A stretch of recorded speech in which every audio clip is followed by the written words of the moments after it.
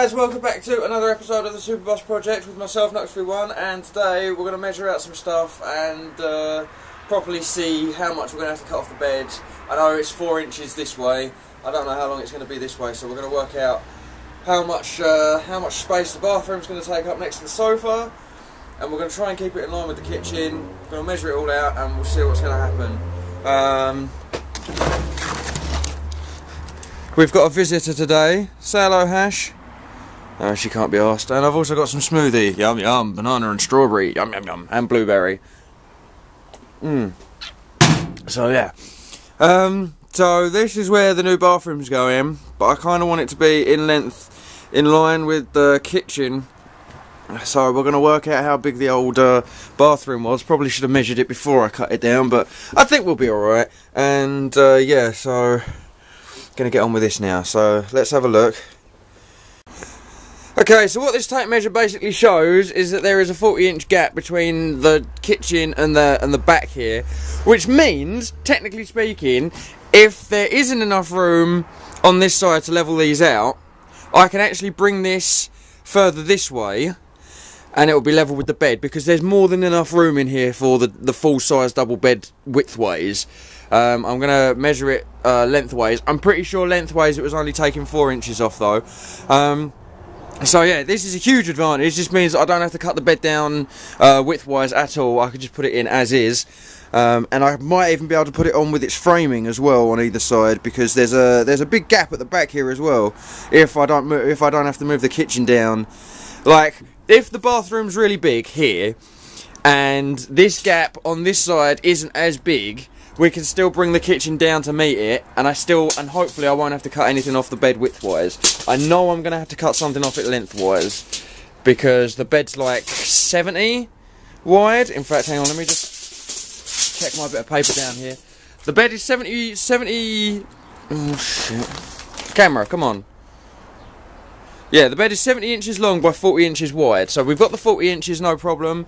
Um, it's just the 70 inches across that we need to find. And I think it's just a case of cutting 4 inches off the bed. And we'll be sweet. And the mattress, because it's a big foam mattress, should compress down into the space. Um, but we'll see. We'll work that out when we get there.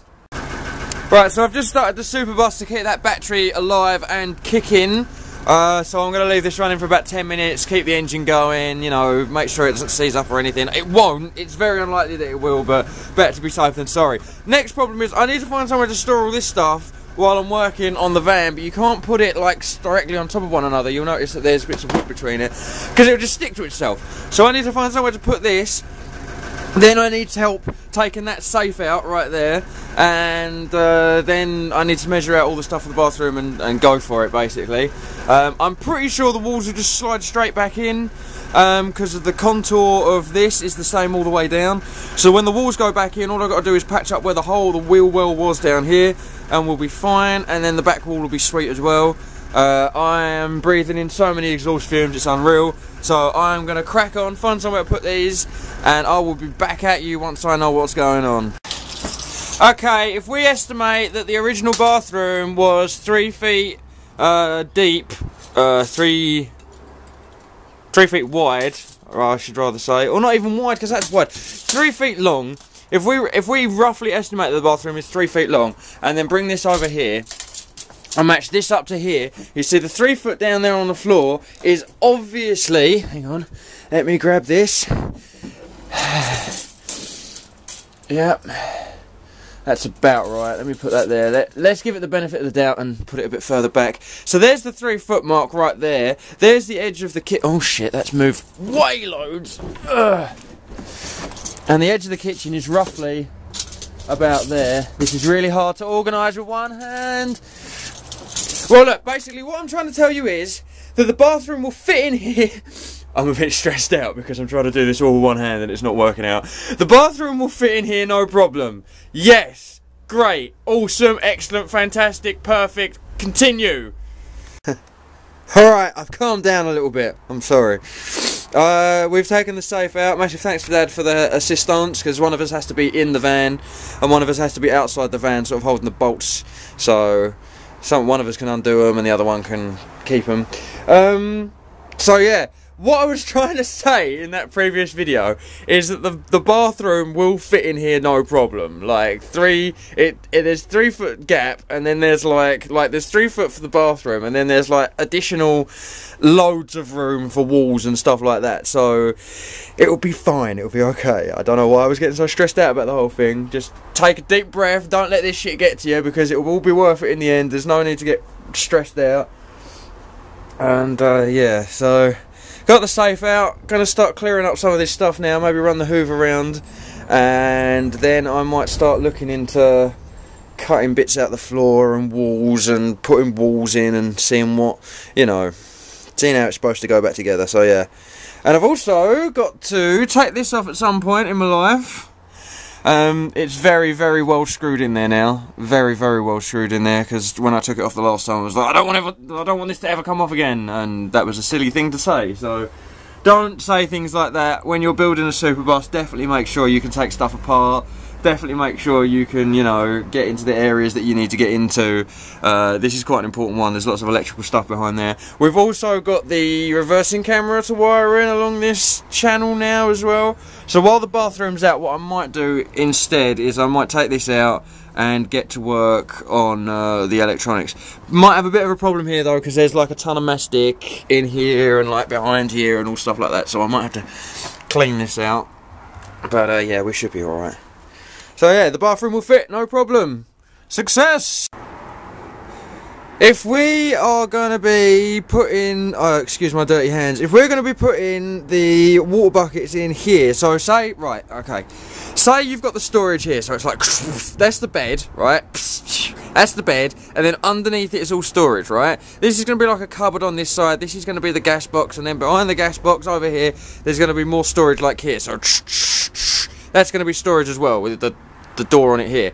If we put the water jugs here, so like they're right accessible, like whenever you're at the, the, the campsite, you could just open up the back doors, chuck them in there, job done. That's what I wanted with the original ones, make it very easy. It's not a good idea to have them stacked on top of one another, better to have them side by side. So what I'm going to do, I've moved the pump, this is basically what I'm trying to get at here, is this pump doesn't have to be here on this side anymore. What it can be, because we're moving the electric box anyway, I've unrun this wire from down there, and what I'm going to do now is I'm going to connect this potentially onto a bit of wood that goes on the back here and that's going to have the pump in it. So I probably won't have to move the light switch. I still will though. I'm going to move it along a little bit more to the edge of the sink so it's out of the way of the bed and everything. Uh, there's enough wire on that so it shouldn't be a problem.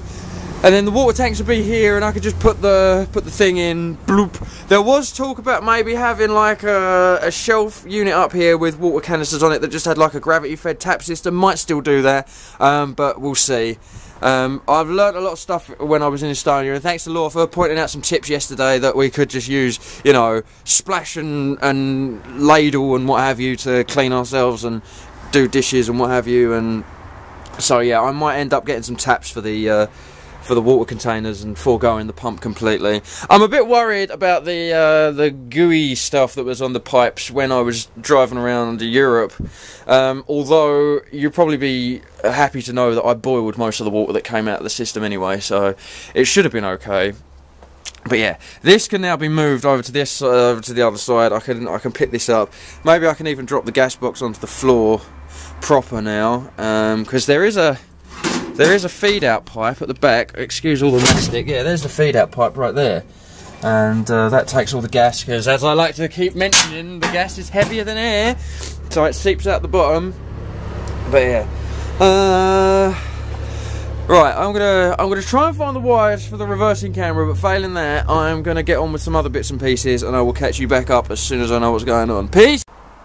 Okay, so we've got both the lights off. I am having trouble with this one errant screw, but that's fine. I'll get that out eventually. So yeah, we've got another light out. All's good in the hood. So this will be coming down soon. And then what I've got to do afterwards is, since all the power supply stuff's getting moved anyway to about here, um, all this stuff's getting rewired what I can do in sort of pseudo preparation is prepare enough wire to run uh, up to the LED stuff. And then when I get all the fuses and stuff needed I could just plumb them in straight into the box and all the LEDs are still will, will be wired in anyway.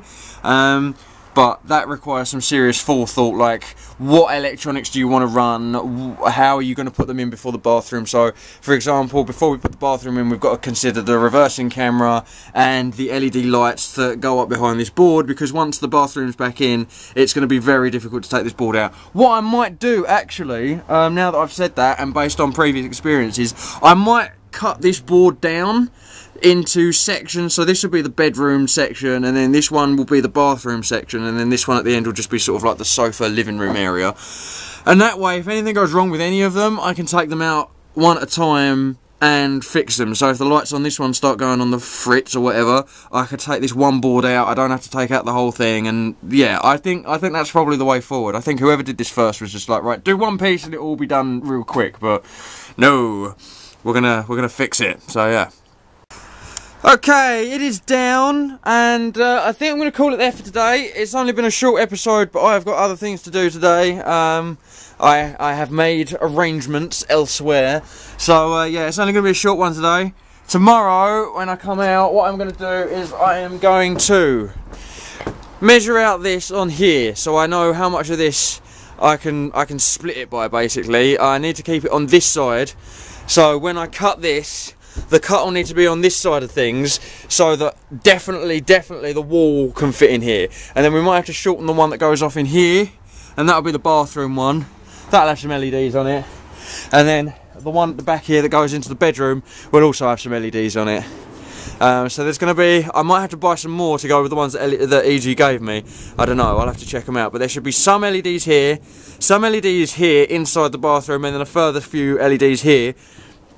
And then when it comes over to the other side, sorry, I'm really out of breath. When it comes over to the other side, we're going to have LEDs here and down by the door.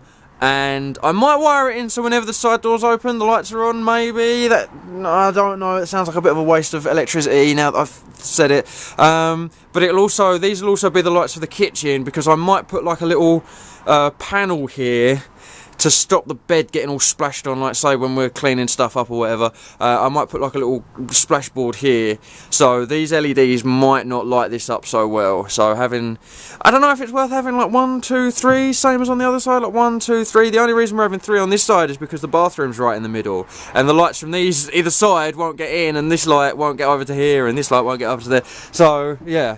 Um, yeah, I'm bloody exhausted. I will uh, catch you on the next episode, guys. Thank you very much for watching. And uh, yeah, take it easy. All the best. Bye bye.